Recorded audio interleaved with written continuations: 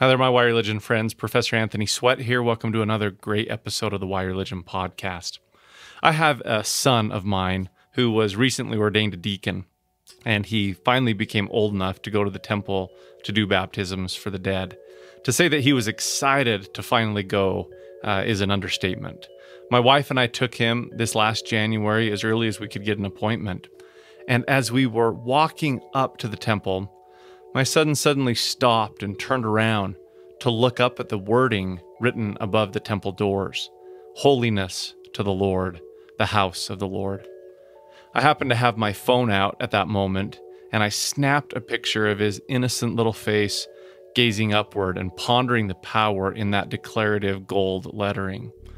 I thought about the prophecy in Malachi chapter 3 that the Lord would purify the sons of Levi, or that he would make them holy, so that they could offer unto the Lord an offering in righteousness in the house of the Lord.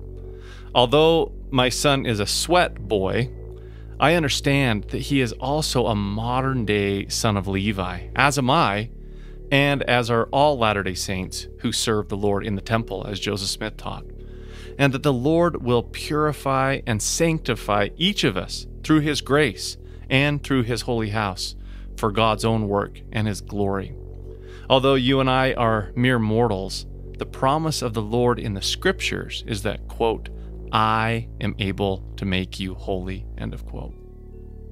Professor Gaye Strathearn of BYU Ancient Scripture has recently published a great article called Holiness to the Lord and Personal Temple Worship, published in the book Approaching Holiness by the RSC. God is talking to Moses and he says, I am holy. And his desire is that all of Israel becomes holy like me. Right? So that's his, I want you to become. I don't want you to just do.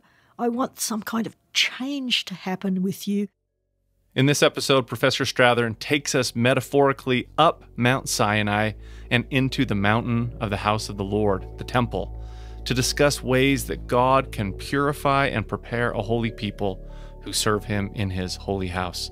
This is Y Religion.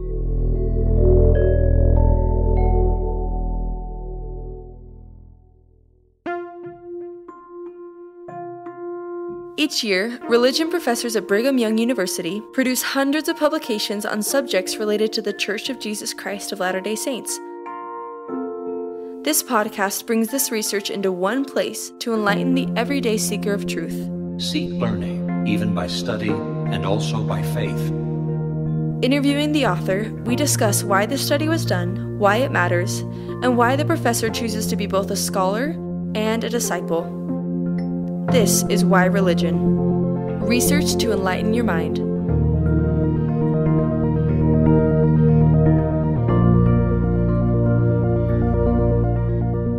Recently, Professor Jared Halverson of BYU Ancient Scripture sat down with his colleague, Professor Gaye Strathearn, who is currently serving as an Associate Dean of BYU Religious Education, to talk about her 2021 article, Holiness to the Lord and Personal Temple Worship, published in the book Approaching Holiness by the Religious Studies Center.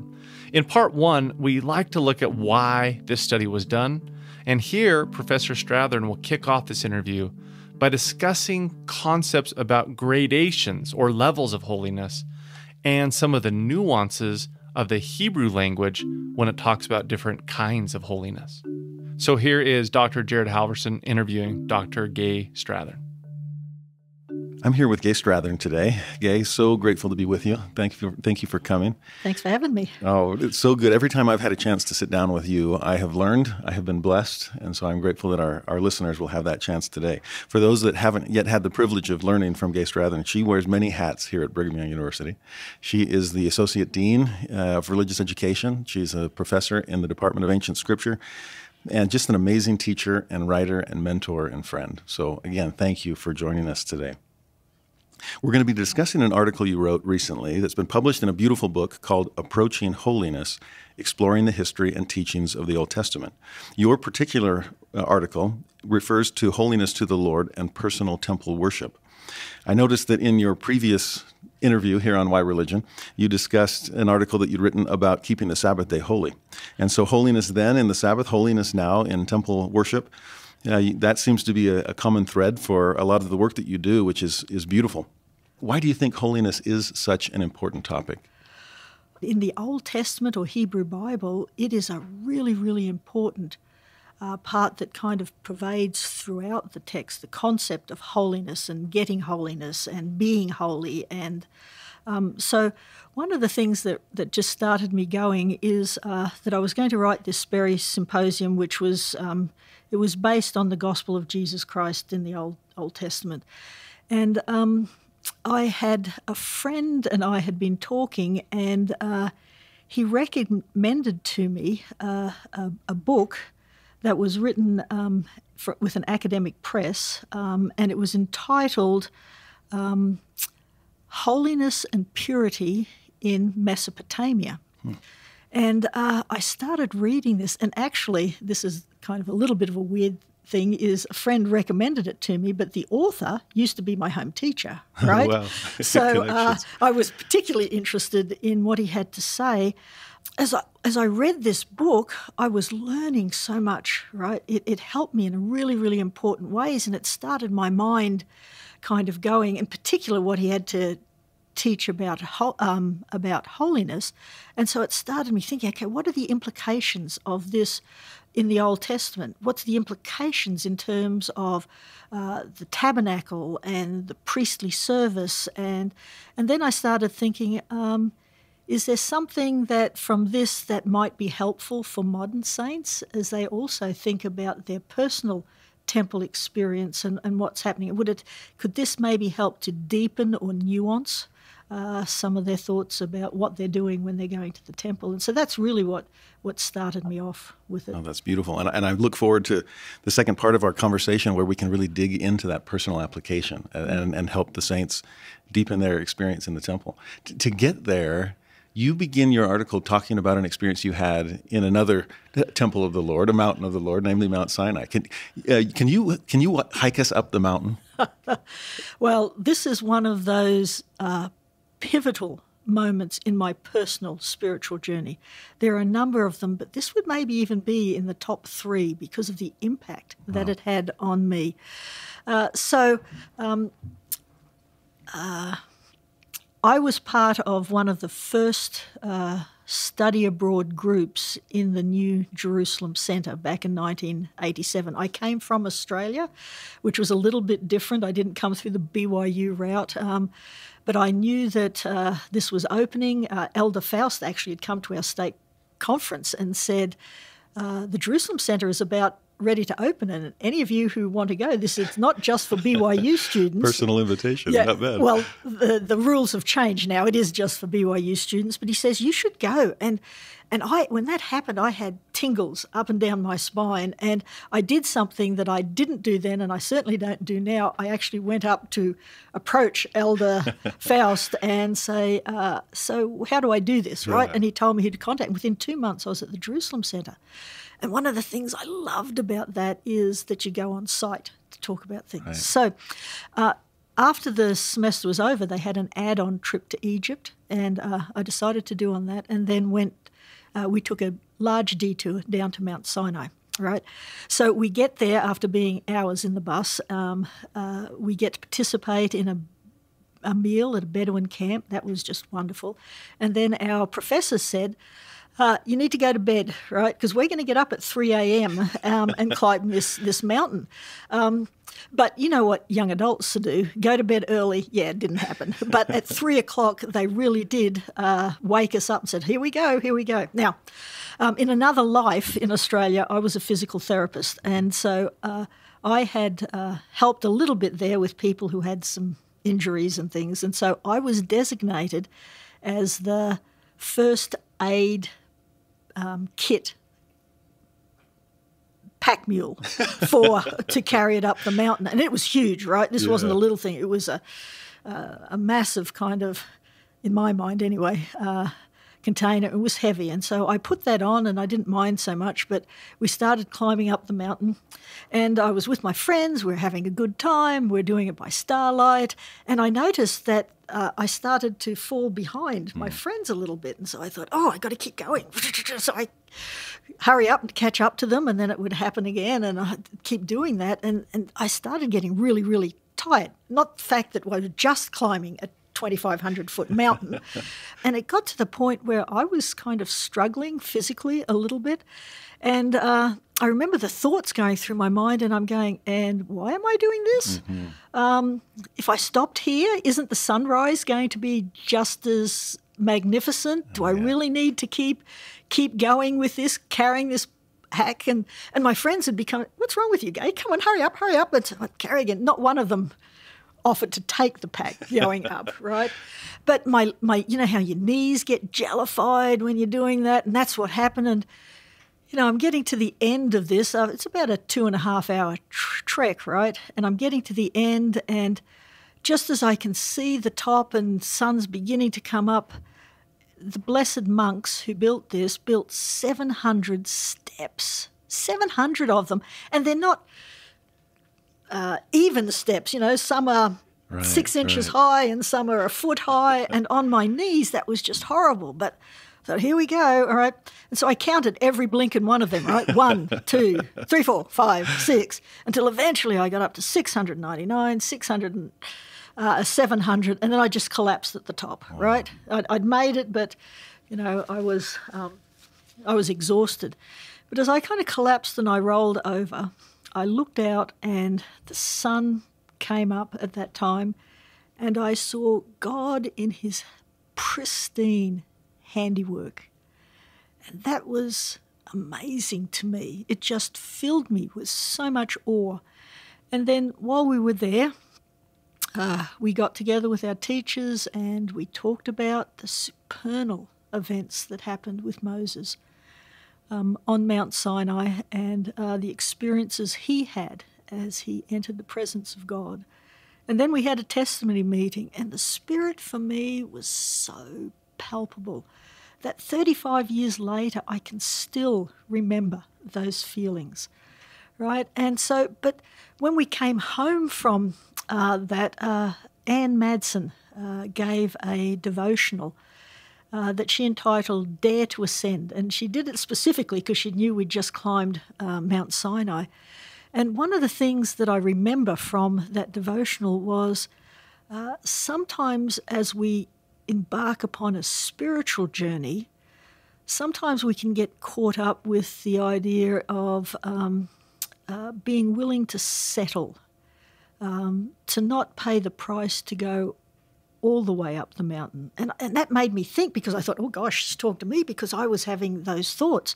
Uh, what would it have been like if um, I had stopped halfway up the mountain?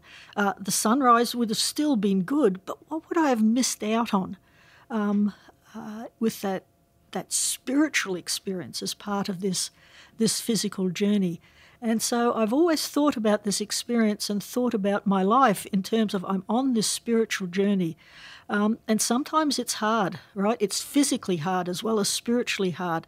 Uh, am, am I going to give up halfway up the mountain, or is this something that I'm going to continue doing to be able to experience all that God wants to bless me with? Or am I going to settle for something less? In your article, you talk about this concept of graded holiness. And I think a mountain is such a perfect example of that because the, the perspective does change right. over and over as you as you continue yeah. the ascent. Can can you walk us through that idea of, of the gradation of holiness? Yeah, I think um, the the point is that it's not just we're in a state of holiness or we're in a holy place or we're not. Mm-hmm. That there are uh, levels of it, and I think we see this most clearly when we think of the Israelite tabernacle, right? Um, so. Uh, the tabernacle represents a journey, right, mm-hmm. as all temples do. And it's a journey where we leave behind the earth and the things of the earth and the things that are important to us in the earth. Um, and we make this transition to go from uh, what, what scholars call profane space, which is the opposite of sacred, we leave that behind, and the, the shift is a demarcation, right? The tabernacle had a tent kind of wall, and coming up to that and going through that, it was a visual that we're leaving behind the world and we're entering into some sacred space. And then in the tabernacle, there were three major areas, right? There's the outer court, which was more holy than the world. Um, but then you had the sanctum proper, and you go into that, and you had the holy place, which is, again, a different level of holiness than the court. And then the ultimate is the Holy of Holies, uh, which in Hebrew is the most holy place, right?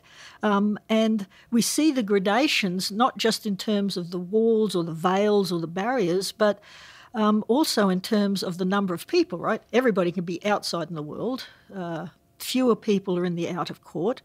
Then it's just the priests that end up in the holy place, and then it's just the holy uh, the high priest who mm-hmm. enters the Holy of Holies. So there's this sense of movement, um, but also I think by the decreasing numbers, it suggests to me is that fewer and fewer people are willing to pay the price mm-hmm. to go all of the way into the presence of God. Right, so that that sense of it's not that there's no holiness in the outer court or in the holy place, but there are levels of this journey of we increase our holiness as we prepare to enter the presence of God. That's powerful. I'm, I'm already thinking of my own temple worship and similar journeys and similar experiences uh, with that, that sense of, of ascent up the mountain of the Lord. That's, yeah. that's beautiful. In your article, you, you, you gave us, especially us non Hebrew scholars, uh, a beautiful lesson on some of the nuances in the in the language of the Old Testament okay. as it discusses holiness. Okay, is is that? Can you walk us through that? The word for holiness is comes from the three basic consonants: are Kof, Dalet, sheen, which in English is kind of a Q sound, a D sound, and then a Sh sound. And so that's what holiness uh, is the base word for holy, the idea of holiness. Uh, what that means in its technical sense, though, is it means something that is set apart. Uh, it's removed from common use, and it's often used in kind of uh, sacred ritual types of things. So that's where we kind of get this this basic word um, for holiness. But what um, uh, uh, Jan Wilson's book did for me is that some of the ways that that word is built upon has different nuances um, that aren't picked up in the King James translation. So, for example, the noun form of the word is Kodesh, right? Um, but an adjective form is Kadosh. So, this all coming from this these three consonants. But uh, Wilson's book kind of indicated that it's much more uh, nuanced than just being a noun and an adjective that the words are used differently in the Hebrew Bible. Um, and Kodesh is. Um, so it's more than just holiness as a noun and holy as an adjective. Yep. There's there's something deeper there's here something in the Hebrew. more going on there. Yeah. So it's Kodesh is um, is he describes it as something that is static, uh, in the fact that it describes the divine realm. Right. The divine realm is holy, but it's often that it is holy because it's been declared holy, right?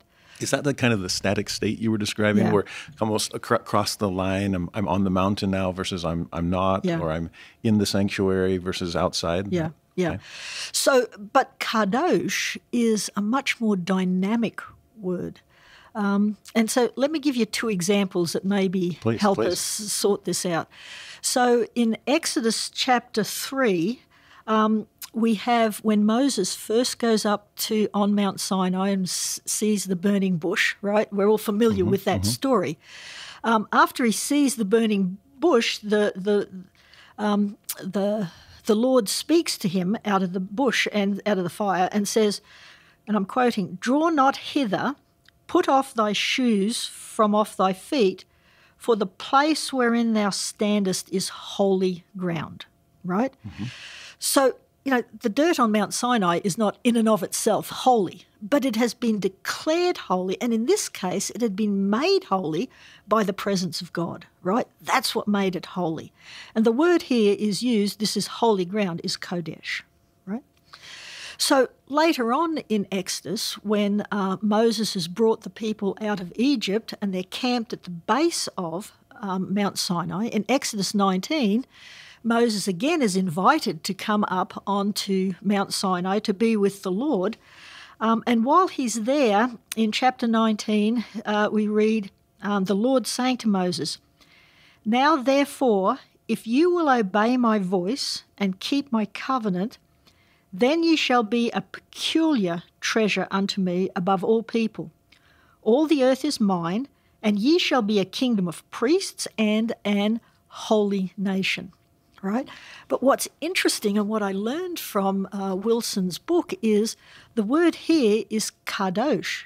It's not Kodesh. So we've got two passages of Moses going up onto Mount Sinai, and we have this discussion on holiness, but they're using different words, right? So what's the implication um, of that? Is what I was was thinking about. So um, I, I understand the the first one. It's Kodesh because it's been declared holy. But when he comes up the second time, God is talking not about dirt, but he's talking about people.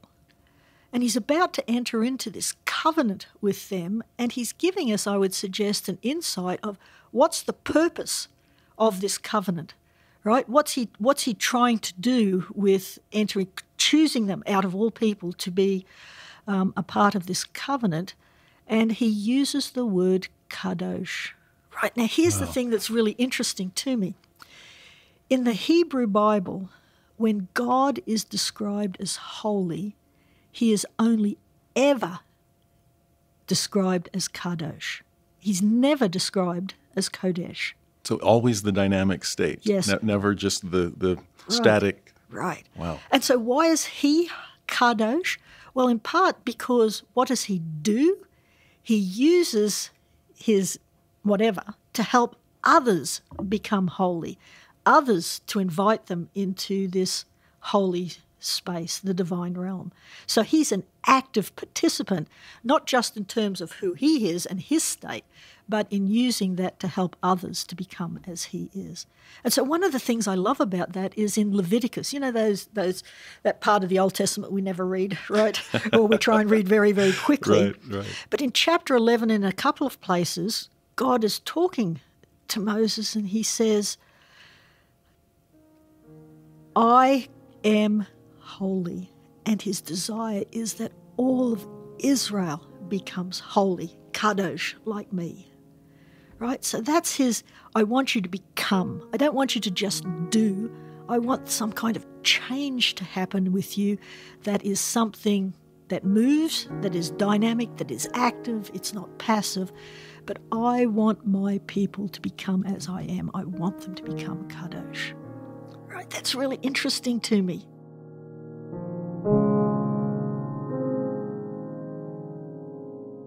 If you're interested in more peer reviewed, high quality gospel scholarship about Latter day Saint history, doctrine, or practice, such as this publication, as I always say, BYU's Religious Study Center is a great place to check out. The RSC has recently published an exciting new book called Greater Love Hath No Man, a Latter day Saint guide to celebrating the Easter season by Professor Eric D. Huntsman of BYU Ancient Scripture and Trevin G. Hatch from the BYU Harold B. Lee Library, who specializes in biblical ancient Near Eastern studies. This beautiful volume, and it is beautiful, follows the same user friendly format of the earlier God So Loved the World, the final days of the Savior's life, organizing the chapters according to the traditional days of Holy Week with expanded discussion and additional materials.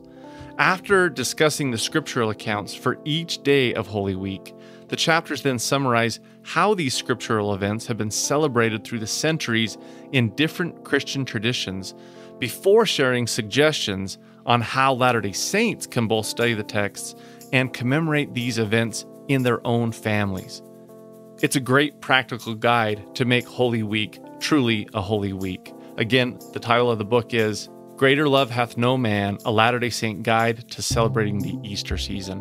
Check it out and pick it up at rsc.byu.edu.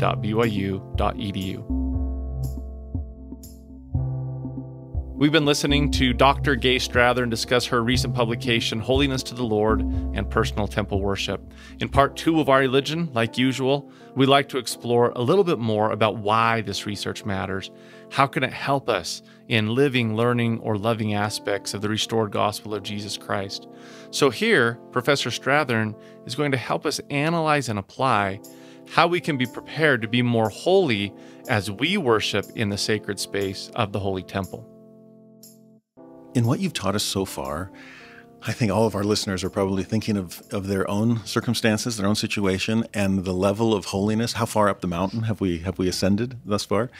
Would you help us understand as we enter the, the temple, as we come into that sacred space, what you've taught us, how, how can that help us deepen our own experience there? How, how can we gain in holiness as we enter the, the house of the Lord? Okay. There's a couple of things in the New Testament that I think are really important in kind of helping us make a little bit of a transition from that technical stuff into um, our personal experience today.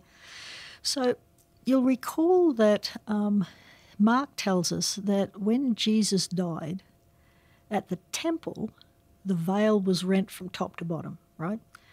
Now that veil was the the the demarcation between the holy place and the Holy of Holies, right? Now, ancient Israel was once invited into the presence of God. Do you remember when uh, Moses was up there on Mount Sinai? He said, Go and prepare the people, for in three days I will come and, and be with them, right? Um, and when Moses came down and said that, uh, at first I think, oh, okay. And, and Moses says, Go home and prepare yourself, right?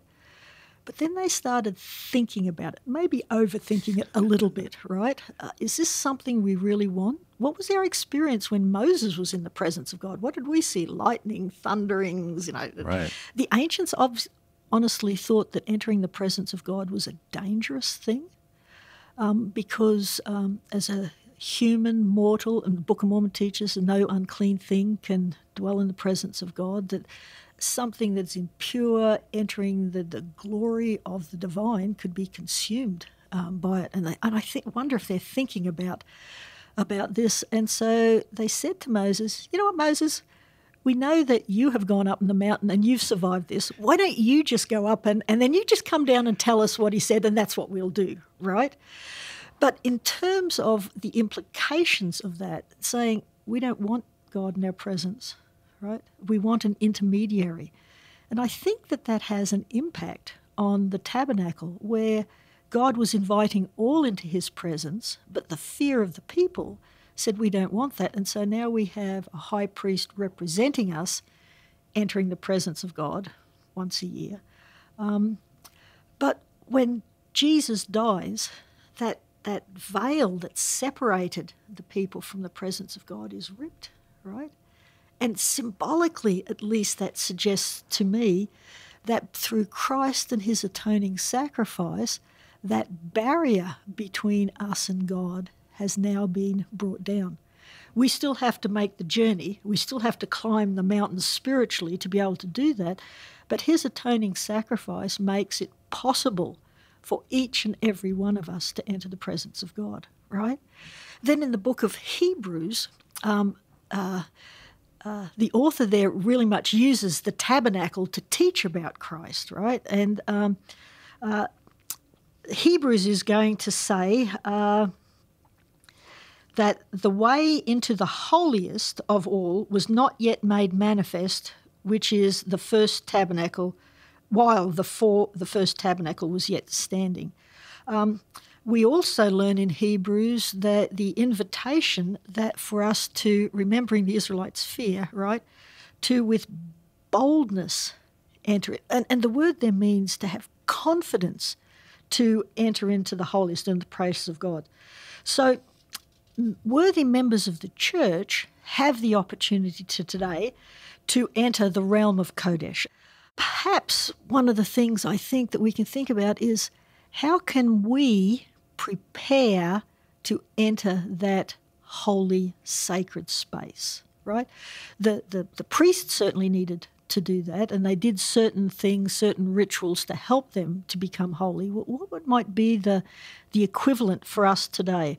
And here are just some things I'm throwing out. There are many, many more, and as individuals, I think it will be uh, can be unique to us. But the things I've thought about when I think about preparing to enter the temple, um, can I think more intently about partaking of the sacrament each week?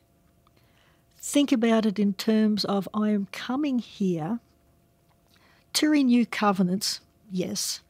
Uh, to remember the Saviour, yes. But the prayer says that we're inviting a further endowment of the Spirit to be with us in this coming week, right? So, am I thinking about that in terms of as I prepare to partake of the sacrament, as I prepare of the sacrament? Because I need the Spirit, right? That's going to be one of those cleansing things that will help me to be prepared as I enter the temple. Another thing I've thought about, and this may be autobiographical more than anything, but uh, we all live such very, very busy lives. Um, but are we intentional enough sometimes to set aside time where that busyness doesn't encroach upon us to the point that we can't be still and know that I am God, right? How do we allow the Spirit to speak to us if we're always busy, if we've always got on our headphones, if we're always uh, got the TV on, or the radio in the car? When is the time when the Holy Ghost, which is a still small voice, can actually speak to us in a way that we can hear it and then be willing to to respond to that. But that's something that we have to be really, really intentional about in our daily lives. Well, it reminds me of your your your hike up Sinai. You know, there's a price to be paid, Yeah. and and time and effort to be able to make that ascent. You're leaving the world behind, and that's not a, a that's not a quick process. No. We've got to dare. We've got to make that be intentional, just to carve out that time. And the other thing I think of is uh, uh, thinking about ways to, again, carve out time to think of the things of eternity. I don't know about you, but I, you know, I know about. I can talk about and quote scriptures about eternity, but the concept of eternity is way too much for my brain to get hold of. Right. Yeah, right. I live. I'm a mortal person living in a mortal realm with a beginning and an end, and thinking about eternity blows my mind in real ways. But taking the time to think and ponder about it, I think, is really important because otherwise I find myself in that kind of that false sense of security. Oh yeah, yeah, I know what it's it's it's talking about. I mean, Jesus. In, in I love it in John's Gospel um, where they're going to portray Jesus as John says he's the one that cometh from above. Um, and, and I think that's saying, well, he's, he sees things from an eternal perspective. And one of the reasons he comes to earth, he condescends, even though they don't use that language, but he comes to, to deal with earthly people, us, um, who aren't from above um, and have a very limited view of what reality is.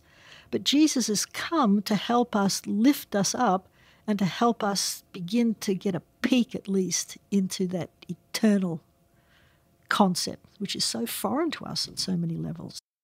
The idea here that I would think about this, it's really important to go into Kodesh space, right? Um, but the goal of that experience is not to, that's not the, the end goal. The end goal is to enter Kodesh space so that in the process of doing that again and again and again, in that process, I start to take on the con- the the characteristics, or I start to become kadosh, not just kodesh, and that's why I like the nuance between the two. So I've got some a couple of quotes here. Uh, so in Doctrine and Covenants 109. Uh, this is the dedication of the Kirtland Temple. The prophet Joseph pled with the Lord, quote, that all people who shall enter upon the threshold of the Lord's house may feel thy power and feel constrained to acknowledge that it is thy house a place of holiness. And then Elder Nelson, when he was a member of the Twelve, uh, also said, Inscribed on each temple are the words holiness to the Lord. That statement designates both the temple and its holy its purposes as holy. Those who enter the temple are also to bear the attribute of holiness. It may be easier to ascribe holiness to a building than it is to a people, but we can acquire holiness only by enduring and persisting personal effort. Um, and I love that, right? And, and then um, Sister Elaine Dalton, um, she once said something that has just resonated with me. Um, and, and I don't know if I can quote it exactly, and so apologies to her, but this idea of we enter the temple so that the temple can enter us. And I love that. Beautiful. Right? I love that. Um, and so that's what made me think. So, how is the temple entering me? And I think this is kind of the process of Kadosh. And I've thought about Moses on Mount Sinai, and he, when he came down from that experience, he was shining, right? His face was shining. There was this tangible effect that um, was upon him as his face shone that lasted even after he came down um, off the mountain. And I've thought about is there a residual effect on me that lasts even when I come out of the temple, right? And, and is it am I changed enough um, because of that experience that I'm a better person. President Hinckley promises you go to the temple, you will come out a better promise. He says, I promise you that. And so I thought about that and says, is that is that working for me?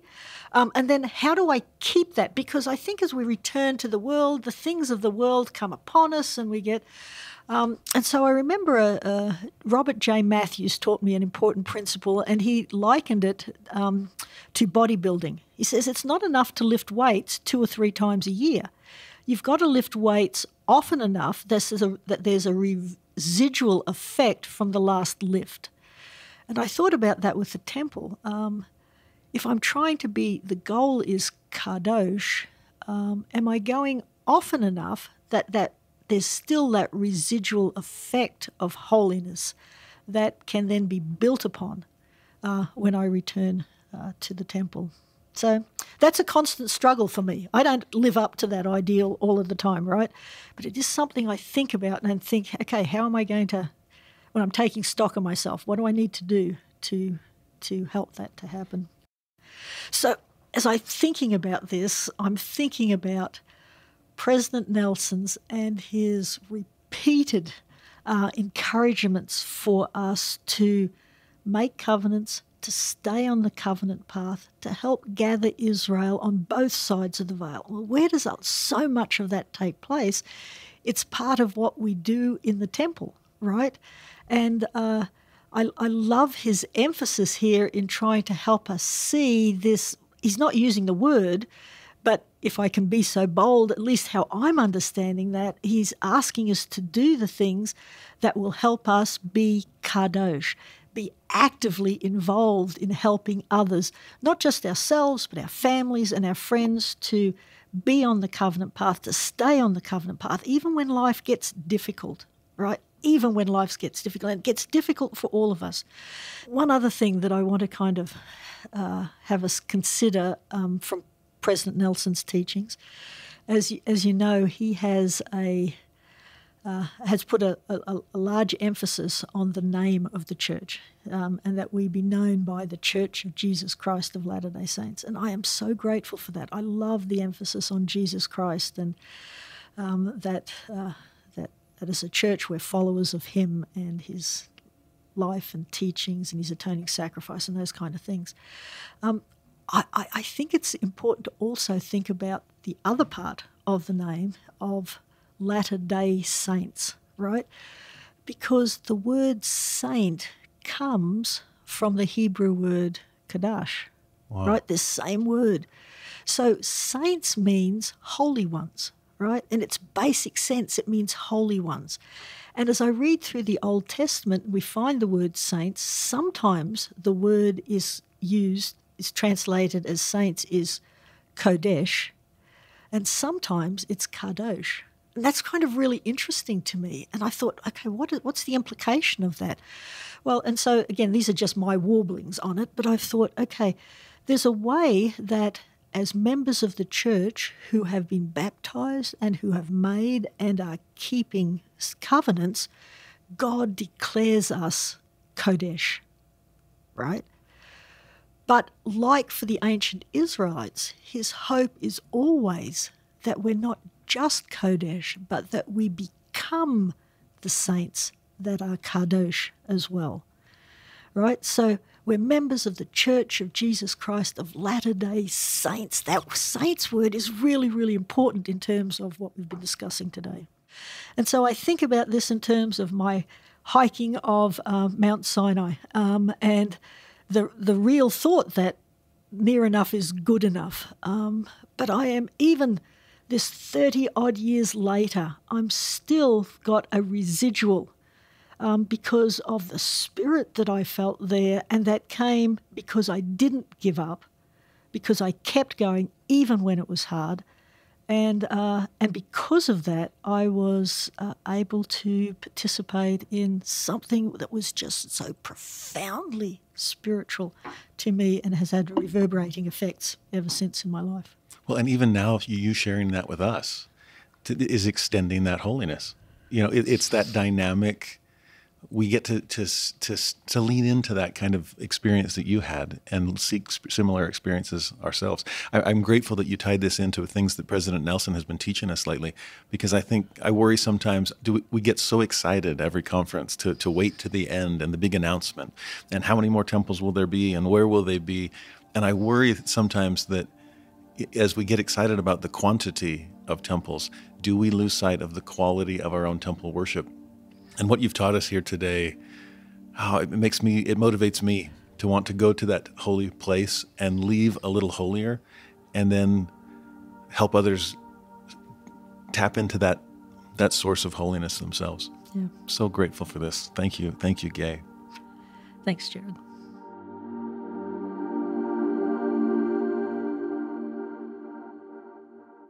If you're interested in reading all of Professor Strathearn's article, Holiness to the Lord and Personal Temple Worship, we've included a link to the full text from the original publication on our website at whyreligion.byu.edu.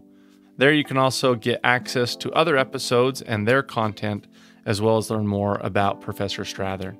And since Professor Strathearn has been on Y Religion before, if you've loved learning from her, I'd also encourage you to go and listen to her earlier Y Religion episode, episode number 38 on keeping the Sabbath day holy. There's great insights there on a holy day for a holy people. Okay, we've arrived at our last segment, part three, where we like to discuss things more personally with the professor. So, to conclude this episode, based on her personal experience, Dr. Strathearn is going to give her advice and perspective for church members about how to keep climbing the mountain of holiness, regardless of our varied circumstances. She also talks about how she has developed her own personal love of scriptures. I want to spend the last few minutes with you, Gaye, just talking about your own personal experience. You, in the first Y Religion podcast episode that you that you recorded, you were so beautifully vulnerable and personal at the end as you talked about your experience being a part of a part member family uh, and faithful converts and your mother and grandmother and, and, and a father that, that hadn't joined the church. You talked about being a member in Australia and what a difference it was to be a, a, a, tiny minority religion in one place and then moving to Utah and being part of the, the mammoth majority faith. You, you talked about what it was like to be a single member in a church that focuses so much on the family. And I hope that our listeners, if you didn't get a chance, will go back and get to know you better in that in that first interview. But building on that, you, you seem to have connections or possible connections with so many different types of people in the church that may not feel like they fit the mold. Uh, and as we're talking about this, ultimately the mold is Christ, ultimately the mold is holiness. Eh, can you, what advice would you give to a church member that might feel like they're on the outside looking in or that they're lower down on the mountain? Uh, what encouragement could you give them to keep, to keep climbing? Thank you. well, um, honestly, I have to say, I have definitely felt those feelings at times. Um, and so when I'm answering you in that question, I hope everyone will realize I'm just talking about my personal experience, and I understand that uh, people all have those feelings from different places, and uh, so what I say might not be necessarily applicable um, to them in the way that it is for me. So, um, I think one of the things that I would say is um, I have worked very hard in my life not to be categorized by a single member of the church. I want to be known as somebody who is a member of the ward or of the stake or of the church, right? I don't want to be set aside as different, and I don't want to celebrate that difference, although I acknowledge it and it's my life and that's okay. But what I want is to be a part of the group. So I have worked really, really hard at that. Um, now, I am a not a naturally gregarious person, right? I'm you might not believe this, but I'm actually very shy, and uh, I find it very hard to to be the life of the party or uh, to just uh, um, instigate uh, uh, conversations with people and, and things like that. That's something I have to work on really, really hard. And sometimes I succeed and sometimes I don't. But as I've thought about this and, and have with the, the feeling that I seems like I'm going to be single for a long part of my membership in the church, I was kind of saying, okay, so if I come saying I'm different and I don't belong, then that's going to be problematical. So, one of the things that I've consciously tried to do is to say, okay, what am I, I going to do to belong? What am I going to do to contribute uh, to the ward? Um, and uh, how can I uh, help others. I don't do I come to church just so that I'll be filled or do I take a responsibility to try and help fill in someone else's ways that they're struggling because all of us struggle right? It's just in, in different ways. That's one of the reasons why i made a conscious decision to not be in a singles ward but to go to the family ward because i wanted the total experience of being a member of a ward. I wanted the opportunity to be able to to serve in primary or young women's um, and not just Sunday school or Relief Society. So, so that was a conscious choice, and uh, uh, and I think that it served me well. I've also thought, uh, so there are certain things that you learn by being part of a nuclear family and an extended one but you learn things. You learn things about love. You learn things about sacrifice. You learn things, all of those wonderful things of being part of a family. And I wasn't going to experience that. So I had to find ways where I could serve in other ways, that I could learn about sacrifice in other ways. And uh, sometimes it's worked and sometimes it's been, but I've surrounded me, myself with friends who, uh, who help me in that process of trying to find ways to serve and to sacrifice. Oh, thank that's beautiful advice, and we get to be the beneficiaries of being part of your extended church family, and yeah. we're grateful for that, Gaye. It's interesting because you spend so much of your time in Scripture, and and helping people find those nuances that you taught us today. I'm, I'm curious, where did your love of Scripture come from? Well, I'm a little weird because it was kind of young, right? And honestly, uh, it was first piqued because I, I, told you I was in a small branch of the church. There weren't very many people there, and there certainly weren't a lot of people my age. But a, a family joined the church, right? And they had a child who was my age, and we became fast friends, right? And they were new members of the church, and so as my friend was turning 12 and about to uh, um, participate in the priesthood, his parents gave him a, a triple combination, but it was a missionary triple combination. You know, today they're all the same, but in those days there were differences, mm. right? So a missionary one had the thumb tabs and the the really fine paper and things like that, and and and we were such good friends that we did everything together, right? And so I thought, oh, John's got one, so I want one, right? And so I thought this was a righteous thing, and I went to my mum and said, Mum, can I have a missionary triple combination? And she said, no. And I was stunned by that, right? Because I thought it was a righteous thing. And she said, we've got plenty of them out there. You go and use them. But she didn't understand it needed to be missionary thumb tabs and things like that. And I tried and tried and she wouldn't do it. What I didn't realize until later is my father was out of work at this time and, you know, I can understand that. But I had to change track, right? And so I said, so mum, if I save up my money, which was going to be $12 in those days, can I get one? And she said yes. So that's what I did. And I remember the day that she took me up to Brisbane. So it was an hour's drive to the church bookstore to go and buy a missionary triple combination with the thumb tabs and the really fine paper.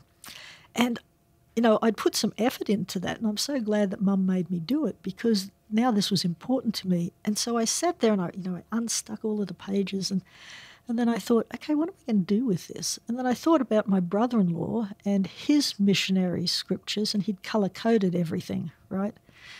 Purple was baptism, yellow was Godhead, red was resurrection. So I thought, okay, I'm going to do that. And so I embarked on this process, right? And I wrote the best I could and I did it all. And in the process of that, I'm going, whoa, this is a really fun scripture. Whoa, I didn't know that. Oh, and so I learnt this love of the scriptures. And so that when Christmas came and I said, Mum, I want a Bible, she she had no qualms now because this has been important. And so that that was just one of those life moments that kind of impacts the trajectory. Um, and I've loved studying the scriptures ever ever since, right? But I never thought that it would be a career, right? I was a physical therapist in Australia. I had no thoughts that this kind of part of my life would ever, ever exist. But the trip to Jerusalem made a huge difference. And then I went on my mission, but I came back and I said, I loved everything that I learned in Jerusalem. So I want to keep that study. And so I came over here and uh, just started working on it. And just the more, so this is the, the other thing, because I'd started as young and learning the scriptures, by the time I was kind of a young adult, I thought, oh, I know the scriptures, right? I could give a talk on most things. I thought I was pretty good. But when I went to Jerusalem, I thought, oh, there is so much more. Every time I went in a door, it just opened up more doors. And I thought, oh gosh, there's so much more. So I realized then not how much I knew, but how much I didn't know right? And as I've embarked upon this journey in studying, um, uh, what I've learnt is I've just been reinforced, not about how much I don't know, because every time I go through a door, there's a hundred more doors there to to be open to. And so I've thought I've, I really like something that Elder and Sister Hafen wrote about. Um, what is it? The simplicity beyond complexity. I think that that's what it is. Right, right. I think as a, a a, uh, a young adult, I was still in the simplicity before complexity. I think I thought I knew the gospel. But as I've studied and all of these doors have opened and uh, the nuance and sometimes the tension in scripture, I don't see tension as a negative thing. It can be really healthy tension. But paying that price to kind of study, and I'm grateful that I'm a teacher because I get to do it professionally, right? Um, uh, and as I've learned and grown, my, my testimony, my understanding of the gospel has become more nuanced. I think more deep. I, I, think that it's going to be something that I'll continue doing for the rest of my life. So there's that on one side, but the other side is going and getting a, a PhD um, in a very, very academic, secular environment. Um, the thing that I think I learnt most was asking questions of the scriptures. Don't assume anything, but ask questions. And it was those questions that have been most important because that's why I'm thinking, well, what's the difference between Kadosh and Kodesh, right? And why should I care or whatever? But it's asking those questions that have also kind of opened up nuances to me. And doing asking the questions through the lens of the gospel of Jesus Christ means that I may come up with very different answers than what my colleagues in graduate school would, but it is just uh, just been also a very transformative experience for me. I have a foundation, I think, of testimony that Jesus is the Christ, the Son of the living God, that Joseph Smith was the prophet of the restoration, that God and his Son loves me, not just collectively as part of a group, but he loves me. And the way that I know that most is because he's answered my prayers, um, not with a theophany on Mount Sinai and not in a sacred grove, but usually through um, the inspiration of people around me who uh, know when to reach out when most I need it, right? And I need it a lot, actually. Uh, I have to say, I need to be inspired. I need others to support, to to to say and teach things that help me in my continuing growth. And I'm so grateful for all of the people who do that. Um, that's why I love the gospel. I love um, learning about it, but mostly I love the testimonies of the people that give me the strength to keep going on. And uh, for God so loved the world that he sent his only begotten Son, that if I could just believe, then I have a chance of eternal life. And maybe uh, one day God can declare to me my kadosh and not just my kodesh.